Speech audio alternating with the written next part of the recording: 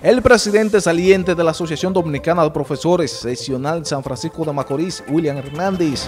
se mostró satisfecho por la gestión que encabezó y exhortó al entrante continuar la lucha por el bienestar del magisterio y la educación.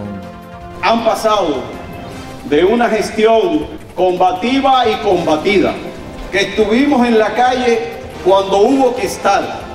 que estuvimos en el diálogo y la negociación cuando el mandato debió ser ese, que estuvimos organizando y coordinando 10 sesionales que demostraron y esperamos y confiamos que el nuevo Comité Ejecutivo Nacional sea realmente para maestro, por maestro y con los maestros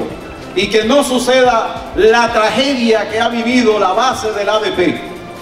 Un magisterio que tiene 48 años de una organización férrea, consolidada, nadie en absoluto lo va a arrodillar y mucho menos a un magisterio de San Francisco de Macorís que sabe combatir. NTN,